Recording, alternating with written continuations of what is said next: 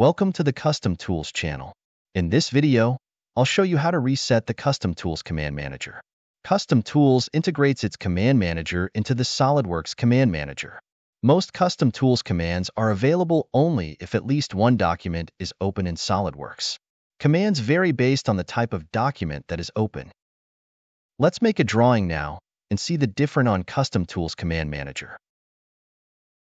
As you can see, opening a part or a drawing in SOLIDWORKS causes the Custom Tools Command Manager toolbar to display different commands.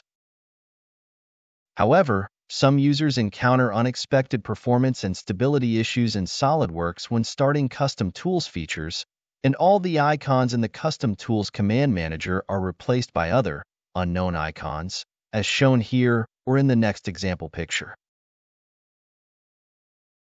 It's important to resolve this to ensure Custom Tools displays all the correct and available buttons on the Command Manager.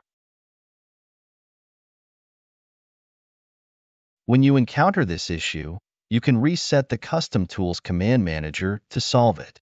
Open Custom Tools options from the SOLIDWORKS Tools menu. Go to the User Options tab. Click on the Reset Command Manager button. After this, restart SOLIDWORKS. Now, let's verify if the issue has been resolved.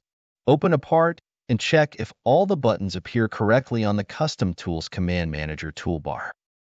If you're still experiencing issue, here's an additional tip. Open the Windows temporary folder and empty it, or at least clean it up. After this, restart SOLIDWORKS and verify if the issue has been resolved.